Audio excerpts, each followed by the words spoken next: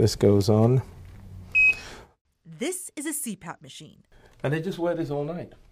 It helps people who stop breathing while they sleep, a condition called sleep apnea. But there's an ongoing shortage of these machines, causing people to lose sleep, like Lauren, who lives in Orlando. You're just stuck. How important is a CPAP machine for you, for your health? Life or death. I could die without it. Lauren says she just got her CPAP machine after waiting over a year.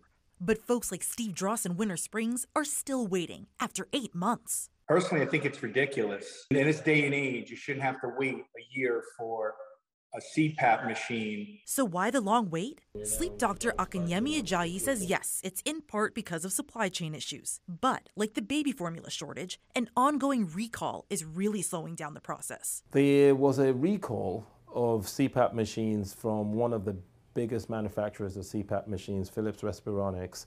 And when that occurred, the process of trying to replace recalled machines while still issuing new machines has proven to be quite impossible. For Dr. Ajayi's patients, the wait time is now up to eight months. Before, we used to get them in less than a week.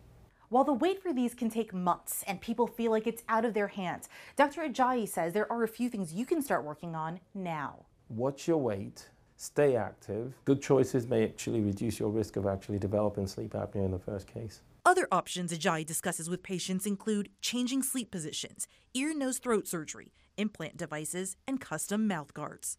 In Orlando, Marley Martinez, WESH 2 News.